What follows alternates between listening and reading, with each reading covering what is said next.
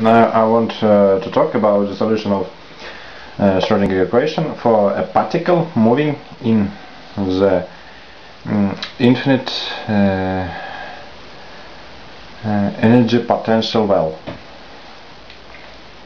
And that's why um, I will present the method of finding uh, the resulting wave function and uh, building energy spectra. Let's start uh, the solution of this task. Here is the potential well and I'll represent um, three areas. The area from 0 to x by to a by xs uh, to be um, uh, uh, our potential well with energy equal to zero. And within these areas potential energy to be equal to the infinity.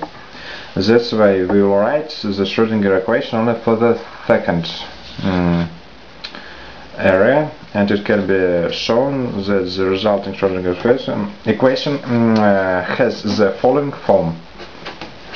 To m h square e c equals 0. From this condition, uh, that the energy um, of first and uh, of this barrier is to be equal to the infinity, we can find that c from 0 to be equal to the a and equal to 0. This is the um, representation of the continuity rule.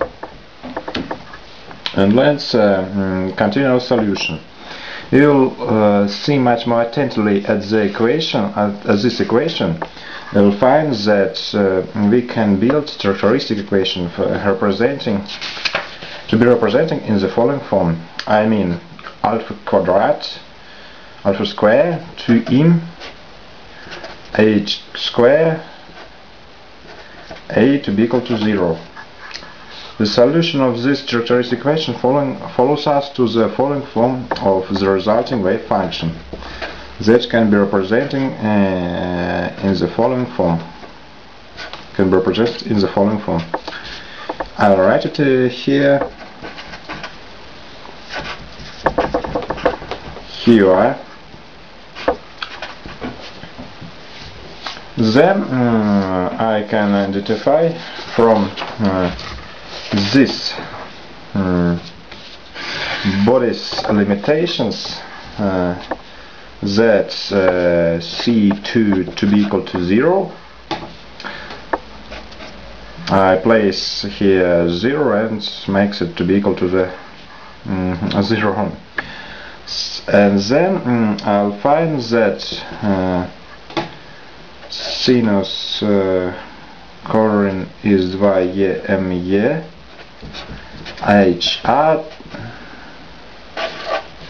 to 0 if you want to build uh, some wave functions this constant can be equal to 0 that's why you will find that this uh, unit of the function to be equal to 0 and that's why we'll find that a hmm, to be equal to spn to me and from this condition we can find the resulting spectra of the system. It can be shown that to be equal to p quadrat, n quadrat, h quadrat, and 2me.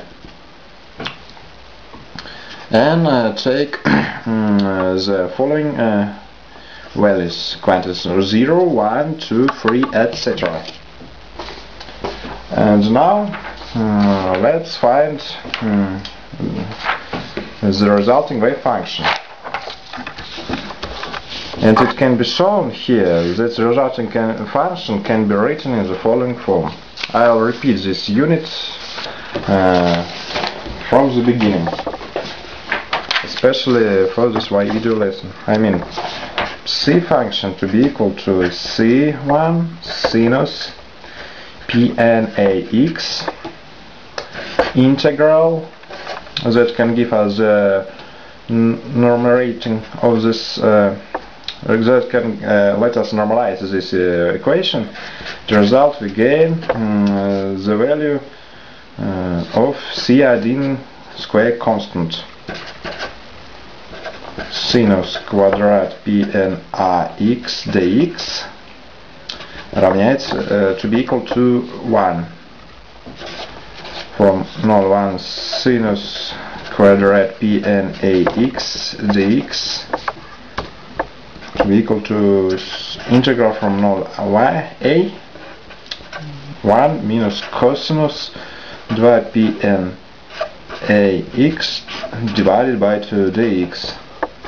And it can be strictly shown that uh, this integral from cosinus um, follows to 0 as a result and uh, the final form of this constant can be written in the following form. And the final function should be equal to 2a sinus pn ax and e p quadrat n quadrat h quadrat 2me here we found the solution of this task. We find the wave function and the resulting energy. And I'll repeat the uh, structure of our consideration again. We started from the solution of the question for the second area and then we made a characteristic equation and after some calculation uh, we came to the um, wave function written in the following form using the um, rule of normalization where uh, conjectured function and the real function uh, after integration of the area gives us 1 we found uh, and we uh, calculated the square of C1 constant. And as a result we gain the following answer. We find the spectra and the wave function. It's the main goal of uh, the solution of all quantum tasks. If you find spectra as wave functions, then it means that you have solved the quantum problem and you built very huge amount of different other um, experimental and numerical quantities. Thank you for your attention. I'll uh, give some further lessons uh, again.